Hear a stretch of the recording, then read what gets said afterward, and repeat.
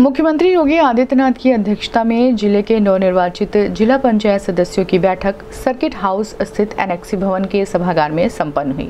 बैठक में नवनिर्वाचित जिला पंचायत अध्यक्ष साधना सिंह, ज़िले के प्रभारी मंत्री रमापति शास्त्री, सदर सांसद रवि कृष्ण शुक्ला, सांसद कमलेश पासवान, नगर विधायक डॉक्टर राधा मोहन दास अग्रवाल, विधायक फतेह बहादुर सिंह, संगीता यादव, महेंद्रपाल सिंह, संत प्रसाद सहित अन्य जनप्रतिनिधि एवं भारतीय जनता पार्टी और उसके समर्थित नवनिर्वाचित जिला पंचायत सदस्य मौजूद रहे। बैठक में सर्वप्रथम निविरोध नवनिर्वाचित जिला पंचायत अध्यक्ष साधना सिंह द्वारा मुख्यमंत्री का पुष्प गुच्छ देकर स्वागत किया गया। इस दौरान मुख्यमंत्री योगी आदित्यनाथ ने कहा कि देश के विकास की गति गाँवों से होकर गुजरती है, इसलिए जिला पंचायत सदस्यों का विकास में महत्वपूर्ण भूमिका होता है।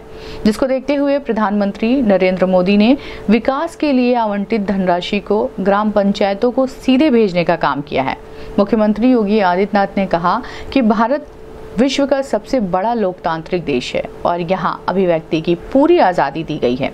मुख्यमंत्री योगी आदित्यनाथ ने कहा कि गाँव के विकास में जिला पंचायत सदस्य खुद मौके पर जाकर विकास कार्यों की समीक्षा करें और लोगों से सीधे संपर्क स्थापित कर उनके दुख सुख में एक साथ खड़े हों। इसके साथ मुख्यमंत्री योगी आदित्यनाथ ने नवनिर्वाचित जिला पंचायत अध्यक्ष और जिला पंचायत सदस्यों को अपनी बधाई और शुभकामनाएँ देते हुए क्षेत्र के निरंतर विकास के लिए कार्य करने की अपील की।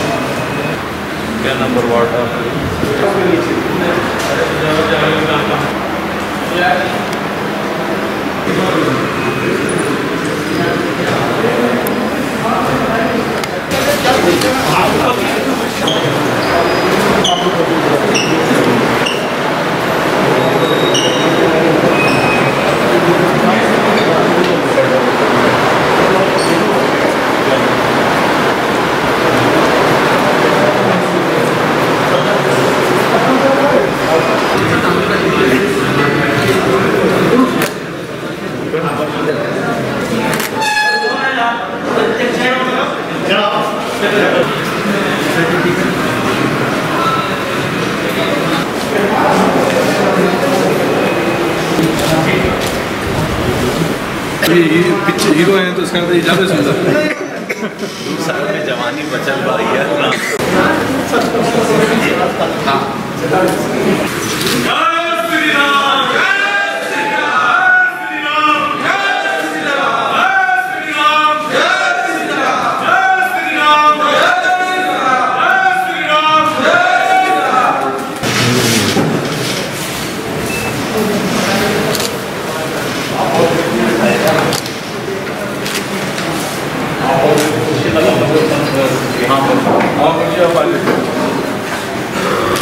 इस बार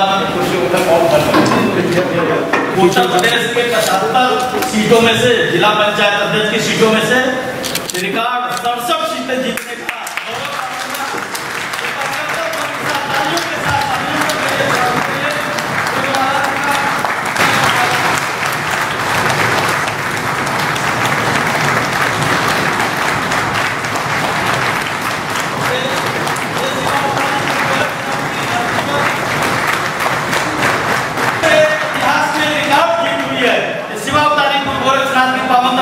पर आप सबने और जिला पंचायत की निर- निर्विरोध जिला पंचायत अध्यक्ष श्रीमती साधना सिंह जी के साथ ये हम सब का गौरव और सौभाग्य जी का आशीर्वाद मिलने जा रहा है।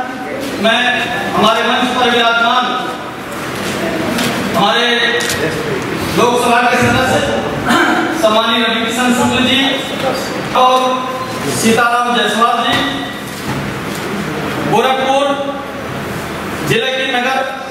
ज़िले की प्रथम माननीय श्रीमती साधना सिंह जी। हमारे सम्मानीय विधायक फतेह बहादुर सिंह जी, सम्मानीय विधायक सत्य प्रसाद जी, सम्मानीय विधायक शीतल पांडे जी, सम्मानीय विधायक महेंद्र पाल सिंह जी और भारतीय जनता पार्टी महिला मोर्चा की राष्ट्रीय मंत्री और हमारे सम्मानित विधायक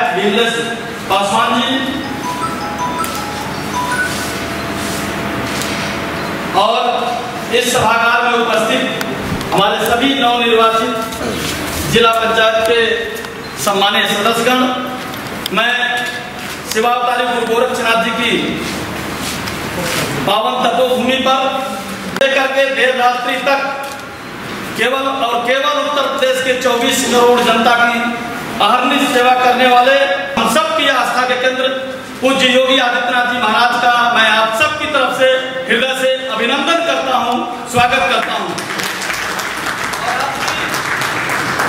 ये पहली महत्वपूर्ण बैठक में मैं आप सब, जो हमारे सम्मानित जिला पंचायत के सदस्यगण हैं, मैं एक बार परिचय कराऊँगा, अपने अपने स्थान पर आप खड़े हो जाएँगे। पूज्य महाराज जी के साथ आप सबका परिचय होगा। और इसके बाद एक मैं कि पूज्य महाराज जी का पुष्प पुष्प देकर के आप अभिनंदन करें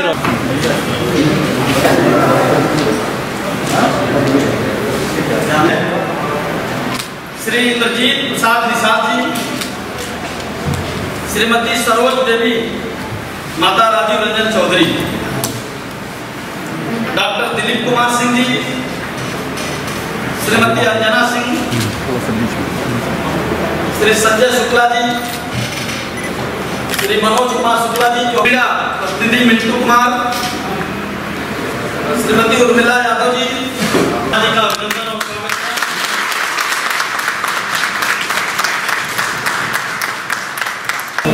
और एक जनप्रतिनिधि के रूप में लोगों की अपेक्षाओं का आकांक्षाओं को पूरा करने के लिए आप सब सम्मानीय जिला पंचायत करूँ तो उन्नीस सौ सैतालीस से लेकर दो हज़ार सत्रह तक, अगर विकास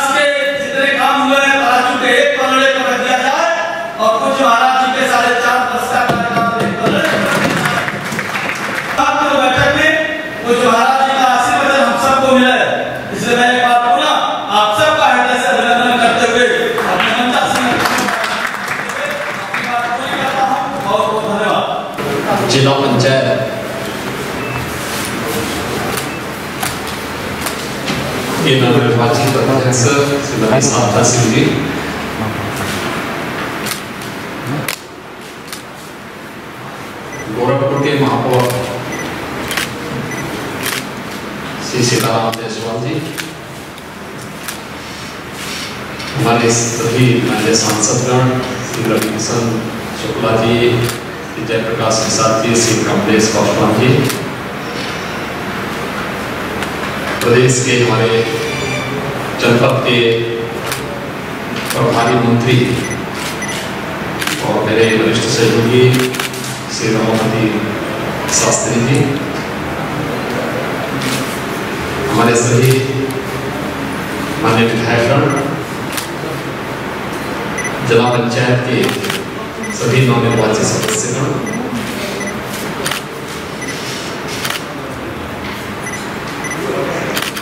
मैं सबसे पहले आप सबको गोरखपुर जनपद में निर्विरोध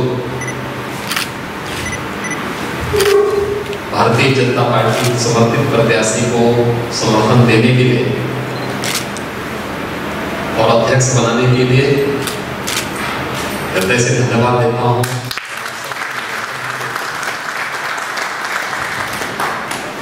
बधाई भी देता हूँ। देश के कई राज्यों में विधायक चुने जाते हैं इनमें।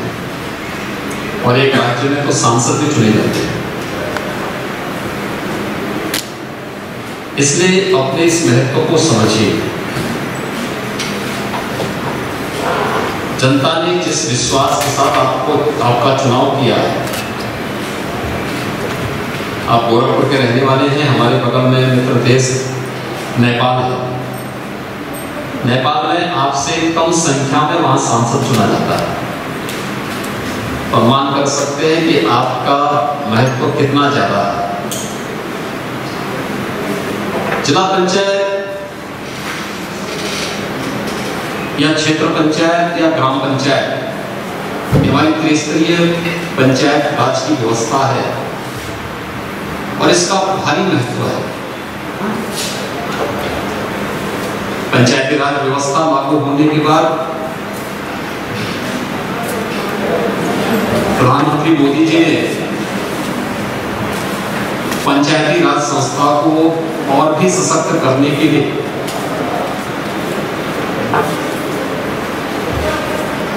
केंद्रीय वित्त का पैसा सीधे पंचायती व्यवस्था को देने का प्रावधान किया।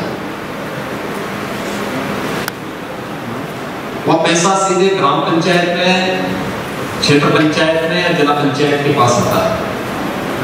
वही मज़बूत होगा। याद रखना, आपका चुनाव हो या फिर इस मंच पर बैठे हुए सम्मानित जनप्रतिनिधियों का।